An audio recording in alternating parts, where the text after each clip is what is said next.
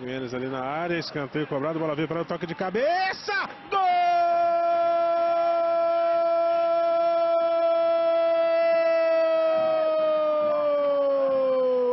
Do Internacional!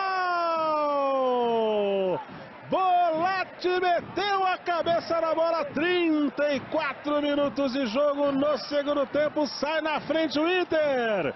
Um para o Internacional, zero para o Emelec. Tava merecendo o Rafael Rezende. O Bolatti subiu mais que todo mundo. E o goleirão só olhou a bola passar.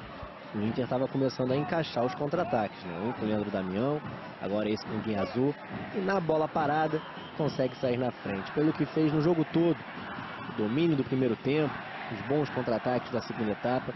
Merece sair na frente o Inter. Bonita a cabeçada do Bolatti, jogo de estreia, primeiro gol.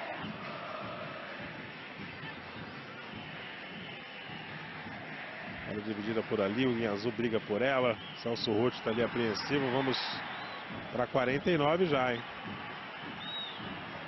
Já vencemos aí o tempo de acréscimo. Ficamos por conta agora do Nestor Pitana. Última chance, né? Deve jogar essa bola na área o Emelec. Precisa se segurar aí o Inter. Para garantir essa vitória, garantir os três pontos. É, o Guinha Azul fez a falta. O Kavianag deu o combate, mas não fez a falta. Toque de cabeça! Gol do Emelec! Gol do Emelec Jimenez. 49 minutos já no tempo de acréscimo vencido. O Emelec empata, o Inter não segurou essa vitória. Festa da torcida do Emelec. Um pro Emelec e um pro Internacional.